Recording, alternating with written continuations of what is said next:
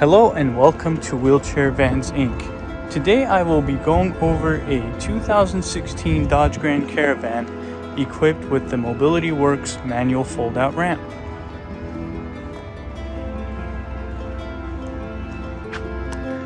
Let's head inside and check out the setup. Now as you can see this one is going to be a half cut.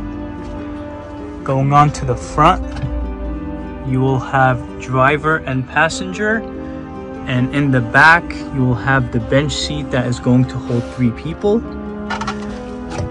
Over here you will have the wheelchair user and this one will come equipped with the restraints and the seatbelt as well.